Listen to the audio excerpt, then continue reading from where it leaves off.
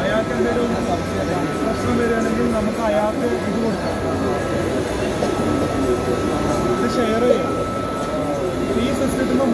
വേണമെങ്കിൽ പോവാം.